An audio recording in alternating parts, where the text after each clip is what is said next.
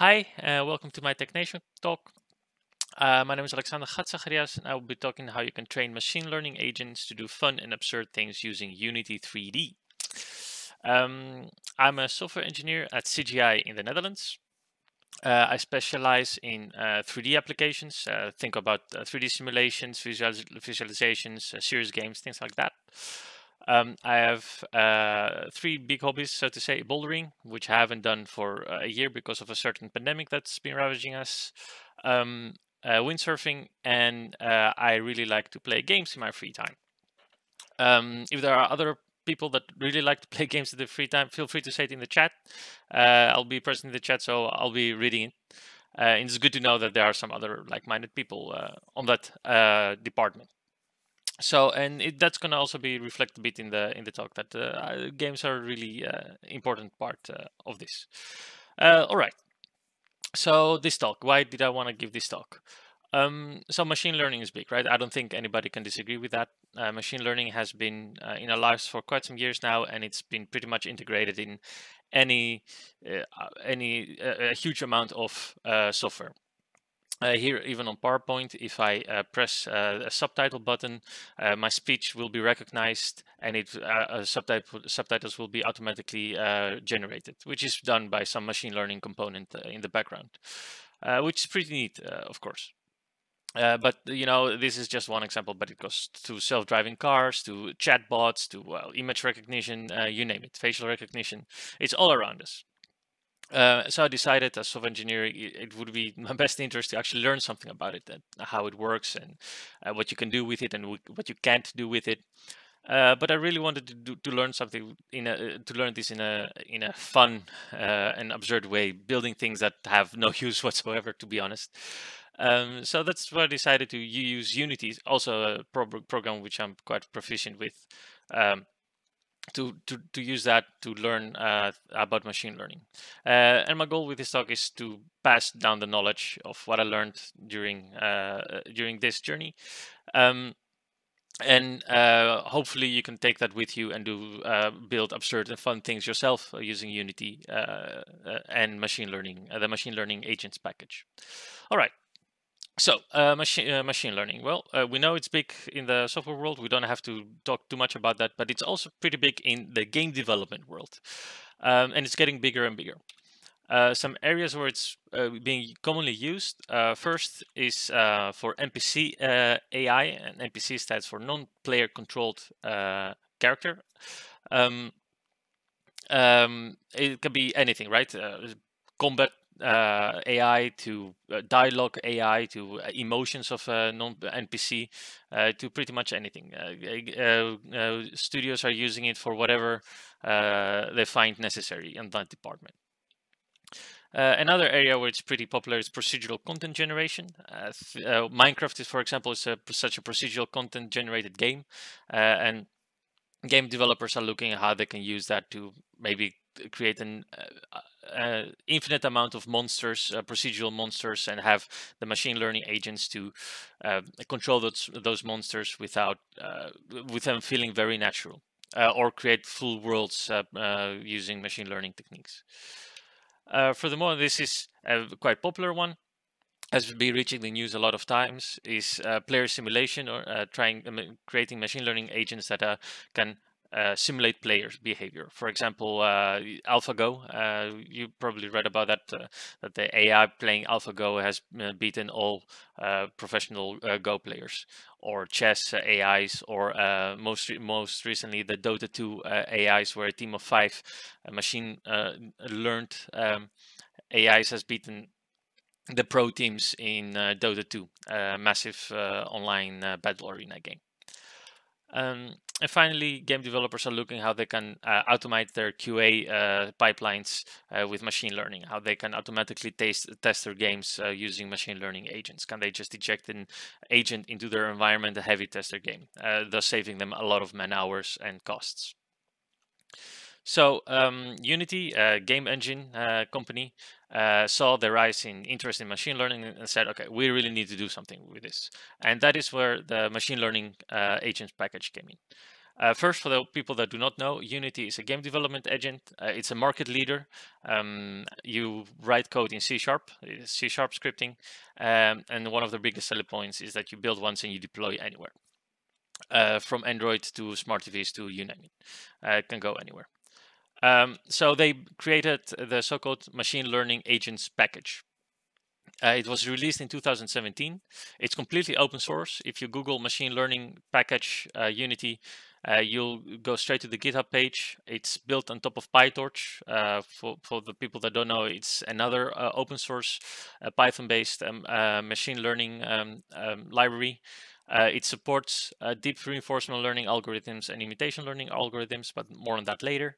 Uh, it contains a low-level Python API for the more uh, machine learning savvy people under us, um, uh, which allows you to control the environment directly, and a more um, an accessible entry point for use uh, within the editor, which you can uh, call from the command line, uh, which is what we'll be doing today mostly was released in 2017 and has been actively developed since. So it's not deprecated or dead or whatsoever. Uh, if you want to get started, you need a couple of things. First, you need to install Unity. Just grab 2019 or 0.4 or later from the uh, website. Uh, you need to install Python 3.6.1 or later. Just grab from the website again. Uh, you need to install the uh, Unity machine learning package, which can be installed from the package manager UI uh, in the Unity editor. Uh, one thing to know about this is it's still a preview package. So in the editor, you'll be needing, in your project settings, you'll be needing to enable uh, enable preview packages so you can uh, see the package and download it.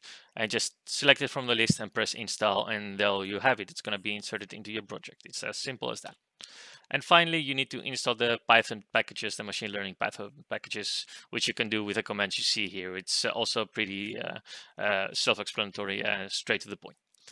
Um, all right. Um, if that, if you've done all that correctly, all you need to do then is um, ml agents dash learn dash dash help, and then you'll get all the commands available, thus showing you that you have successful successfully installed the machine learning package.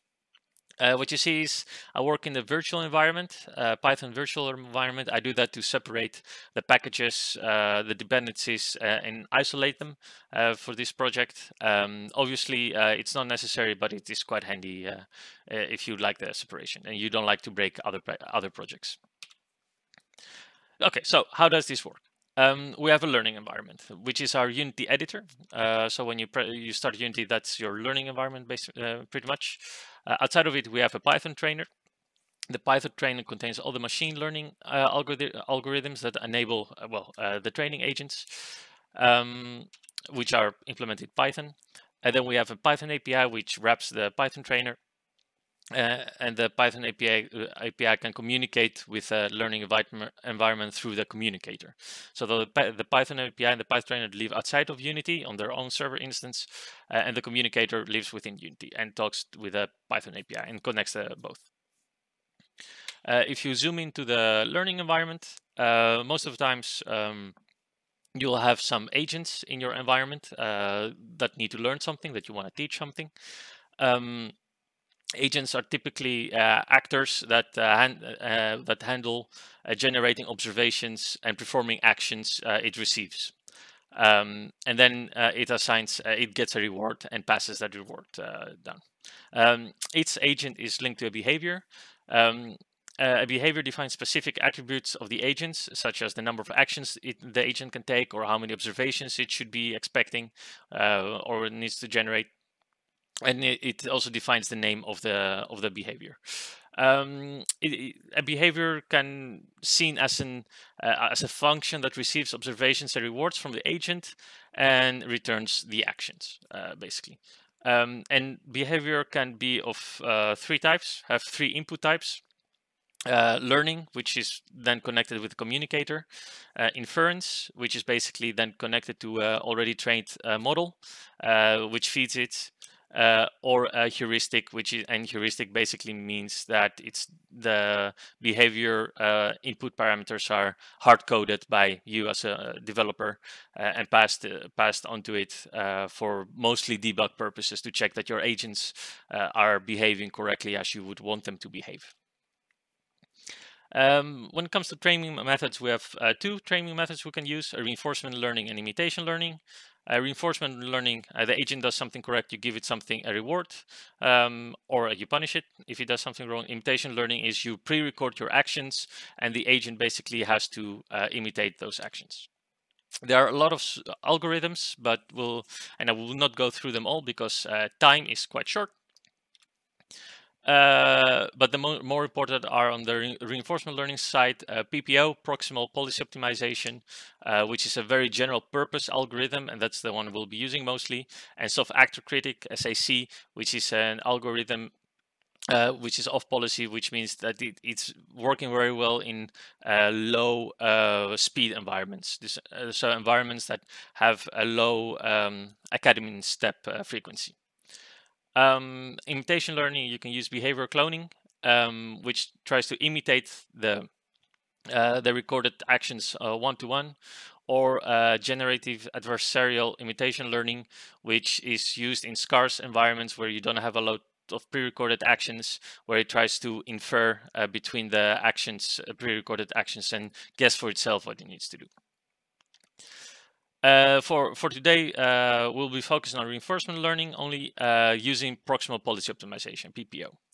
Um, and that again, because we only have a half an hour and I can go through everything uh, with that half an hour. But I promise you, you, you can do some pretty neat stuff with this alone. All right, so to the creme de la creme, what we're here for is training our own agents, right? The the cool, the fun part, the cool part. Uh, and you can it can it can be quite uh, challenging to have the agents do what you want. Uh, it, it, takes a lot of trial and error. Uh, so first things first, you'll be needing to design your agents. Uh, agents have a certain loop. Uh, they make an observation. Based on that observation, they will make a decision. based on the decision, they will take some actions, and based on the actions, they will get some rewards. Um, the observations uh, in our case is going to be of three things, uh, of vector things, uh, vector uh, input. Uh, so it's going to be positions, rotations, and float numbers uh, mostly. the decisions, we can change the decision period. So, and if we, we, allow the agent take actions between decision periods, uh, for all our agents for today, we'll set this to five. So decision, the decision period is going to be five, meaning that every five academy steps we'll be making a decision. And we will allow the agent to take actions between uh, the decisions. Uh, actions can be of two types, uh, continuous actions or discrete actions. Continuous actions are uh, uh, basically are numbers. You, you get a certain stream of numbers fed, and that number can be anything between minus one and one um, float number, and discrete actions are int integer numbers, uh, which can be, uh, minus one, zero, or one, uh, basically. Um, and based on those actions, you get a reward, or we give the agent a reward, and that reward can be minus one, zero, or one. And that's basically so that's kind of what you need to know about the agent loop, and then you can start building your own agents. So um, let's start with something si simple. We have a pirate, and we all know pirates love treasure. Pirates love to seek treasure. So we have a pirate, uh, pirate in our uh, environment. This is our environment in within the Unity editor, and this is our pirate. Pirate. Um, and what we want to do is him move to the treasure chest in front of him. Uh, but we don't want to make it too easy for him. Uh, so here uh, on the right, you see uh, the behavior uh, par uh, parameter, uh, parameters uh, and the agent component script. Um, so we give it a behavior name of move to chest. It can be anything. vector observation space size has to be six. So we basically take this behavior. You'll get six generate six observations, and you will be getting two actions in return. then we want the behavior type to be default for now. Uh, that means that it's be ready to train. It's going to be trained. And the max step is going to be 5,000, meaning that after 5,000 academy steps, it will stop, it will reset itself to, to the start. And that is to make sure that it doesn't just stand still in the middle. Uh, so those are basically the parameters uh, and the things you need to tweak uh, in the editor. Now, if we look at the implementation of this uh, pirate, um, this is uh, what the code looks like. Pretty, pretty short and sweet, I would say. Um, important thing, uh, if you start creating your own agent, inherit from the agent class you get from the machine learnings package. Um, and then you have certain uh, amount of uh, methods you want to override. The, the first being uh, on action re received, where uh, when you, you get the actions generated and you want to do something with that. Here we said we want two actions. Uh, the, the, uh, and we'll be using one to move on the x-axis, uh, right and left, and one to move on the z-axis, forward and backwards. Uh, and then uh, once we receive the actions, we move the pirate a certain amount based on a move speed we have predefined and the number we get back. So the so with these numbers, the pirate can go right, right, left, forward, and backwards. Um, then uh, another method we want to override is the collect observations method, which we and then we get a sensor, uh, which we can add observations to. And here we add the local position of the pirate itself and the position of the chest he wants to move at. So at all times it knows where he is and where the chest is. Um, we have six uh, vector uh, uh, observations defined, and that is because uh, a position is defined in a so-called vector 3. So it, it, it is a set of three numbers, so 3 times 2 is 6. Um, and then uh, the uh, last important one is on episode begin, what do we want to do every time an episode ends, a training episode? for example, when you reach your goal or when you go out of bounds or your max steps are, is reached. Uh, then we want to uh, uh, set the transform the position of the pirate somewhere somewhere random and the position of the chest somewhere random. So we randomize a little bit uh, our environment to make sure the pirate learns to actually look and search for the treasure instead of going from left to right towards uh, the treasure. Uh, then we have uh, an optional one that you can override, which is uh, heuristic, where you can map your own input to the actions, basically when you just want to debug your agent, as I said before. And here I'm mapping it to the WASD keys to be moving around. Uh, finally, we have here a, a, trigger enter, which is a method where once we touch something else, something ha happens. If that something else is the goal, the treasure, uh, we give the uh, uh, the agent a reward of one, and we end uh, the episode. Uh, if something else is a wall, that means we're stepping out of bounds of our environment. We give it a penalty of one or a reward of minus one, and then when we end the episode again. And that is basically all there is to it. And using this, we can already actually train our pirate to go and get that booty. So uh, if you open um, a command line window and, and navigate to your project, uh, like I have here, you can do ml agents dash learn, and then you can pass in a config file. Um, that config file looks like this. So important here, you need to name the behavior the same as you have uh, defined in your editor, as you see here, move to chest. Um, and then the most important thing is here we say that we want to be using PPO as uh, the backing algorithm for this machine learning agent. Uh, and that is basically all there is to it. The rest is uh, the, normal stuff. Uh, the, the default uh, config. So using this, uh, we can uh, set also a run ID. So let's call it pirate1. Then we press enter. We'll wait a little bit until the our the Python API starts, and then it says you can start running by pressing the play button in the Unity editor. so we will do just that. We'll press play in then our Unity editor and then it's gonna start connecting to the uh, Python um, uh, trainer. And there it is. It's gonna. It starts training. Uh, as you can see, our pirate is walking very fast. Uh, that is because the uh, the Python API is speeding up our environment so that we, it can uh, uh, teach the agents quicker it, uh, more steps uh, per second, uh, basically. Um, as you can see, it's already kind of getting the idea of, of what it does, it needs to do, except for this time, which is going the wrong, uh, the complete the wrong way. Uh, you can even speed it up, uh, speed this up even more by duplicating your environment and copying it uh, this is what I did here. So now I can just go here and then I, I tell it I want you to resume uh, the previous run. Uh, so it's going to start up um, and then I can press play again. and here it's going to tell me, okay, I'm resuming from step 3335. Uh, and as you can see, it's going to basically be uh, training all these agents simultaneously, thus uh, speeding up training times uh, significantly, which is pretty neat. All right. Um, so let's stop this uh, when we can. All right, so now this is stopped and the Unity is, uh, the training here is stopped. And now that uh, I have a pre-trained model, of course, because training these things takes a little bit of time. Um, uh, you can see it here. So all I need to do is put this in inference only. Um, and these are all my trained brains, uh, so to say, my trained models uh, which are uh, stored in a so-called .onnx file, which stands for Open Neural Network Exchange file, which is a industry standard. Uh, and then basically all I need to do is here press play and then you'll see that the time scale, the speed of the whole environment is going to be normal and that our pirate will successfully and without fail always navigate towards the treasure chest and grab it uh, for that uh, sweet, sweet uh, gold.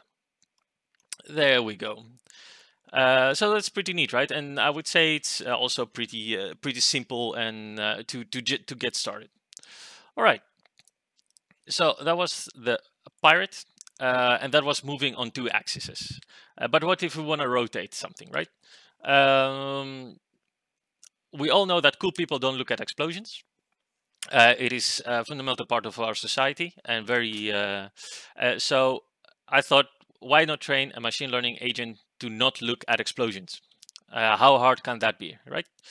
Um, well uh, it turns out it isn't that hard at all. It's easy quite easily achievable. Um, so uh, no need to save this so I will not show again the the training steps because it takes a little bit too long and we still have some cool stuff I want to show you uh, but as you can see, this is our environment. We are here, we have here uh, a text showing us if uh, the person, the agent is being cool or uncool. Uh, cool meaning I'm not looking at explosions. Uncool meaning I am looking at explosions. Uh, how does the this agent uh, only needs one action? Um, by the way, and 10 and takes 10 vector observations as input. All right, so let's look at the our cool agent.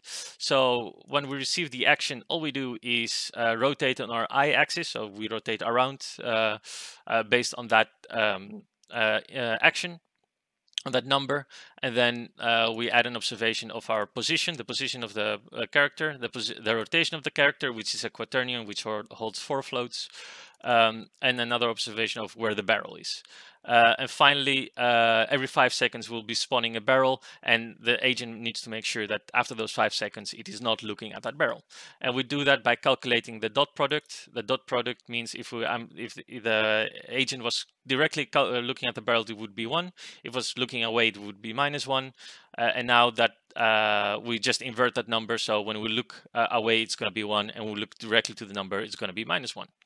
Um, and then uh, I trained it, uh, and uh, with inference mode, it looks pretty much like this.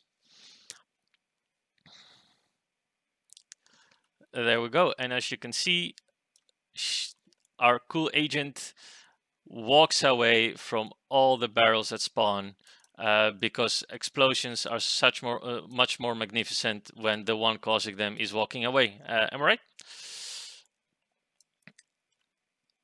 there we go. Yeah, so that was pretty neat, uh, I would say. Um, and again, uh, pretty straightforward and pretty easy to do. Uh, then we have uh, then the question right okay th this is pretty okay but what if i want to train multiple agents within one environment doing more things okay what can i make to to to to make that to do to make that happen? Well, uh, I'm a kind of a Harry Potter fan. If there are more Harry Potter fans, throw it in the chat. Uh, glad to hear from you. Uh, so what if I recreated Quidditch and then basically the seeker and snitch um, uh, part of Quidditch? So we will have two seekers trying to grab uh, a snitch. Um, so we will go into our Quidditch scene over here. So we have our two seekers here, uh, Gryffindor and Slytherin, uh, and our snitch is uh, up uh, here. Um, there it is. So as you can see, this is also the, the same environment I used to train the models I've already pre-trained. As you can see, uh, the, I have multiple uh, now hidden Quidditch environments you can use to train your, um, uh, to, I use to train the, these uh, behaviors, uh, these agents. Uh, so how does this work? Um, well, the, now the, all, the, the snitch and the wizards all take three actions uh, and they have multiple uh, uh, vector observation they need to be doing. Um, so let's start with the seeker agents. so the actions are basically the same as with the pirate, but then we'll also having uh, one on the y-axis to have them move up and down. Uh, so now they can fly in a three-dimensional space. Uh, and flying is very important for wizards playing Quidditch on a magic broom. Uh, and every time, every step they move closer to the snitch, we will give them a small reward, basically telling them, okay, you need to be moving closer to the snitch. Uh, the observations are um, the position uh, of uh, of the of the magicians itself, the position of the snitch, uh, and the distance uh, of the magician to the snitch, of the seeker to the snitch. Uh, on the episode begin, we will, won't be doing much because they always start at the same spot. Um, and basically, if they move outside, if they try to move outside of the environment, we punish them and we uh, end the episode. Um, otherwise, if they collide with anything else, we give them a small punishment.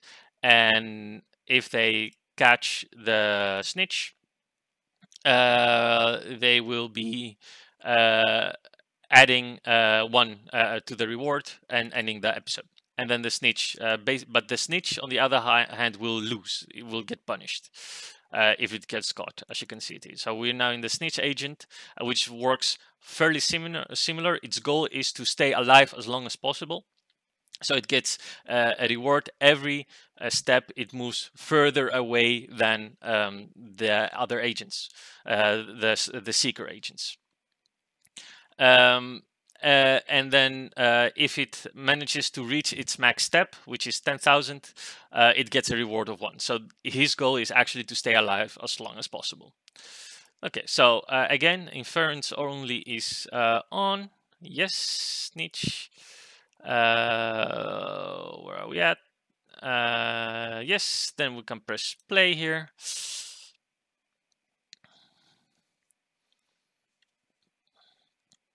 And then it's gonna load it up and here you can see our beautiful uh, Gryffindor uh, uh, wizard, uh, Slytherin wizard fly behind the snitch uh, I gave him a little trailer in there so we can see where the snitch is and how they're going uh, and try to catch it. And there we see that Gryffindor caught the first one and then they will go again and try again. Uh, as you can see, the snitch thought itself that somehow the most efficient way to uh, escape its uh, the people behind it is to go to the right, to fly to the right, and it will do that all the time.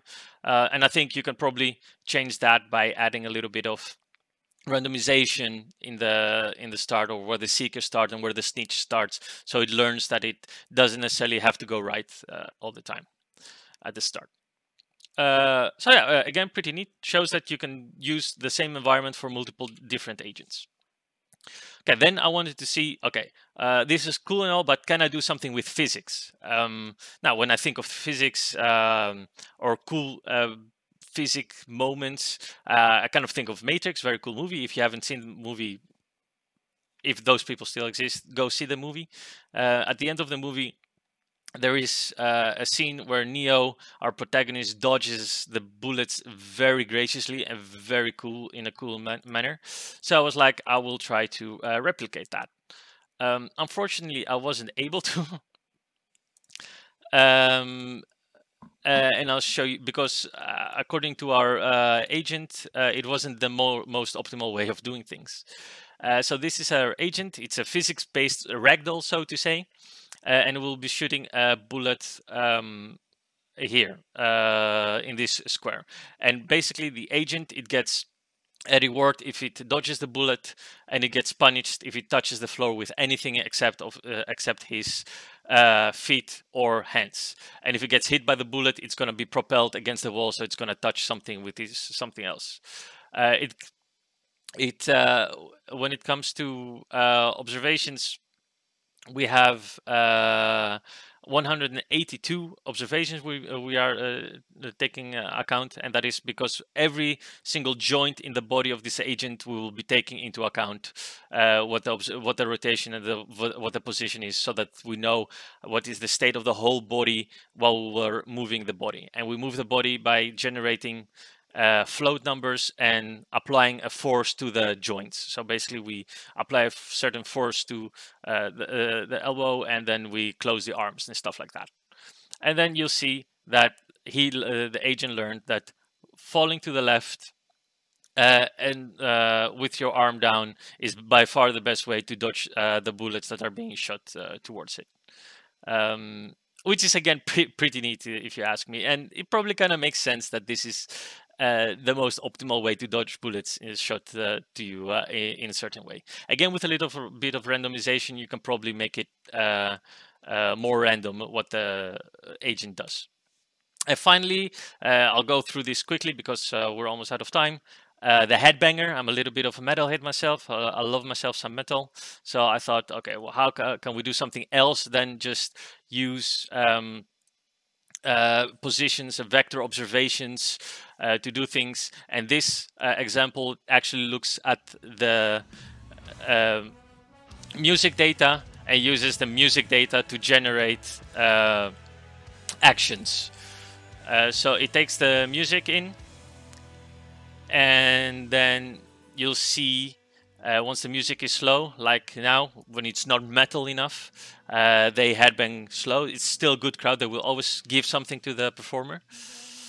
Um, so see that now it's going a little bit of slow. And once the music picks up, they're gonna be he be headbanging like a real crowd in a real mosh pit, ready to rock out. Exactly like this. which is looks just looks hilarious if you if you ask me. All right. Um, so yeah, um, that, that was it. Uh, thank you very much uh, for attending this talk. Everything I showed you is on GitHub. Just go there and clone the project and do with it whatever you want. Um, if in the end uh, it shows that uh, if in the end you make something like I don't know uh, something cool, let me know. If you end up making something like Skynet or the, or the Terminator with this, please do not mention my name and keep me off it. Uh, thank you very much again for watching, and uh, I'm open for questions.